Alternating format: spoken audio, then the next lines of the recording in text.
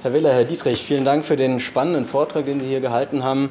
Ähm, Herausforderungen und Perspektiven ist so das Thema vom, vom heutigen ECC-Forum.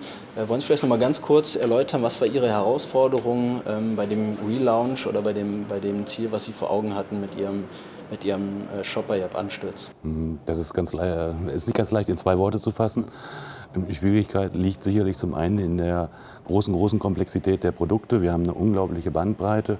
Das, was wir in den Mittelpunkt stellen, ist natürlich die Einfachheit, die sich daraus ergibt. Ähm, das aber auch an verschiedene Empfänger zu adressieren. Zum einen natürlich an den klassischen Konsumenten, an den Verbraucher, der die Sicherheit haben soll. Bei Japanstütz finde ich immer das Richtige.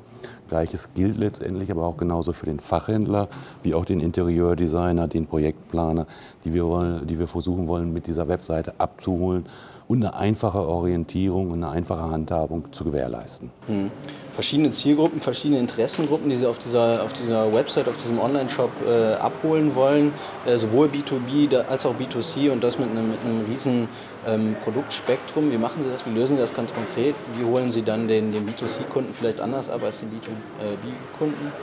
Ähm, wir haben natürlich durch das äh, Hybris die Möglichkeit, den Kunden zu erkennen und auch den Konsumenten von unserem äh, Fachhandelskunden zu unterscheiden. Und wir haben dann auch die Möglichkeit, individueller anzusprechen.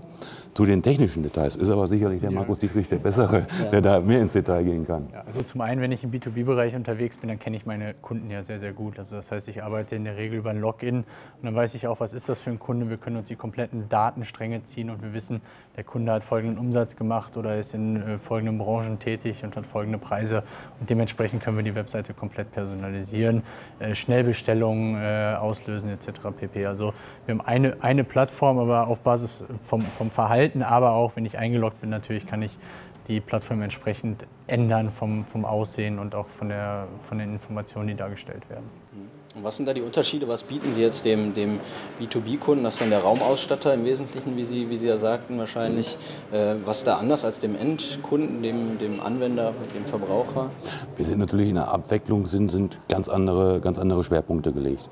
Der Fachhändler, der auf unsere Webseite kommt, der möchte im Prinzip Dinge sehen, wie ist der Auftragsstatus meiner letzten Bestellung, äh, wann ist das Paket rausgegangen, ich möchte es tracken möchte es nachvollziehen. Das sind einfach klare geschäftliche Prozesse. Mhm. Ähm, der Konsument, der zu uns kommt, den möchten wir natürlich ganz anders ansprechen. Den möchten wir eigentlich inspirieren. Wir möchten einen Bedarf wecken. Wir möchten über Wohnbilder, ähm, ja, Atmosphäre und auch ganz wichtig Emotionen erzeugen. Mhm.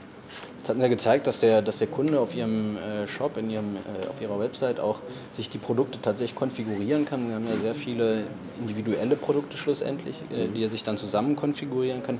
Können Sie da auf den Prozess nochmal äh, eingehen und wie Sie dann am Ende diesen, diesen Shift zum Händler tatsächlich ähm, äh, hinkriegen? Die Kunst ist, das Richtige wegzulassen. Ich sag mal, wir haben allein im Stoffbereich 3500 Artikel, in allen Farben sind das 30.000 SKUs. Ähm, da ist es wichtig, dem Konsumenten nicht 30.000 SKUs anzubieten, sondern ihm eigentlich die richtigen anzubieten, ihn über Inspiration an die richtigen Stellen zu führen. Und Kunst des Weglassens auch. Ähm, die Konfektionsmöglichkeiten sind unendlich. Es gibt äh, 150 verschiedene Ball äh, Faltenbänder. Ähm, wir haben uns aber letztendlich aus unserer Erfahrung, aus unserer eigenen Erfahrung, aus der Erfahrung unserer Kunden einfach für fünf Bänder entschieden. Das sind die, die wir auch online anbieten, weil es die sind, die nachher 80, 90 Prozent des Umsatzes ausmachen.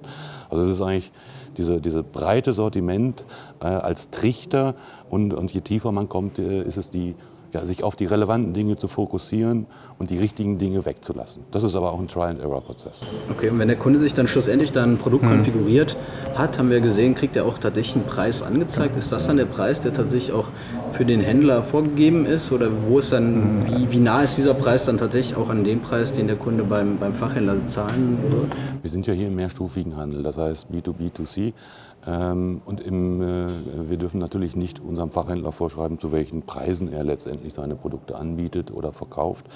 Das heißt, äh, auf der JAP-Seite arbeiten wir mit UVP-Preisen und äh, diese UVP-Preise kann der Händler mit einem Aufschlag, mit einem Abschlag individuell kalkulieren. Es ist ganz wichtig, äh, in solchen Konstrukten sicherzustellen, dass der selbstständige Unternehmer, der selbstständige Fachhändler die Preishoheit behält. Okay, aber Sie wollen dem Kunden schlussendlich trotzdem schon mal ein Preisgefühl geben, diese Information über den Preis, das ja in einem transparenten Internet äh, mhm. einfach auch äh, inzwischen dazugehört, trotzdem mhm. schon mal so, so, einen Anhaltspunkt geben und dann schlussendlich ähm, hat aber der Händler die, die Entscheidung auch. Und der Kunde druckt sich dann da irgendwie ja. einen Merkzettel aus oder wie wird das, nee, dieser, dieser Medienbruch schlussendlich? Es ist direkt möglich, auch online abzuschließen. Also ich äh, bekomme den UVP angezeigt und wähle dann im letzten Schritt den Händler. Und da kann ich natürlich als Endkunde frei entscheiden, wie möchte ich das Produkt kaufen kann den Händler um die Ecke wählen und dann kommt nochmal der individuelle Händlerpreis, der angezeigt wird. Und ich kann den Checkout aber komplett abschließen. Das heißt, ich kann die Konfiguration wirklich kaufen online und okay. kaufe dann nicht bei Japanstütz, sondern Japanstütz ist der Marktplatz.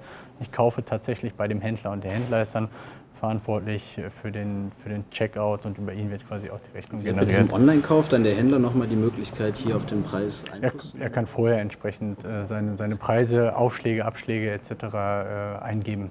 Ja, absolut spannend. Also Sie haben da mit Sicherheit ein Stück weit als, als Hersteller dann für Ihren Kunden auch diesen wichtigen digitalen Kontaktpunkt wahrgenommen, was, was viele Ihrer äh, Fachhändler, die ja zum Teil auch, auch äh, äh, relativ klein sind, wahrscheinlich einfach nicht die Möglichkeit haben, hier diesen, diesen äh, zentralen Online-Kontaktpunkt äh, herzustellen. Von daher mit Sicherheit äh, spannend. spannend auch weiter zu beobachten. Perspektiven war der andere Punkt, der heute im, im Fokus steht. Was ist erst Ihre Perspektive? Wo geht die Reise weiterhin? Wir stehen am Anfang dieses Weges, ähm, wollen halt diesen Weg mit unseren Händlern gehen. Das ist uns ganz wichtig. Wir haben jetzt einen Teil, ein Produkt rausgenommen aus der ganzen Bandbreite. Das ist der Vorhang. Äh, die Bandbreite von Japanstütz in Verbindung mit dem Wohnen ist, ist sehr groß. Äh, das heißt, da stehen noch viele, viele Felder vor uns und äh, der Kollege hatte eben schon so eine Präsentation, ein Prozent des Weges ist gemacht, das sehen wir bei uns nicht anders. Also weitere Bereiche werden kommen und es ist für uns aber auch ein ständiger Lernprozess, ja, aus, aus, jedem, aus jeder Kunden, aus jedem Konsumentenkontakt wieder zu lernen und neue Dinge herauszuziehen. Also wir sind auch einer ständigen Veränderung unterworfen. Also bleibt spannend, wir werden das Ganze weiter äh, verfolgen. Herr Willer, Herr Dietrich, vielen Dank und noch viel Spaß auf dem Forum heute. Gerne. Dankeschön. Danke. Danke.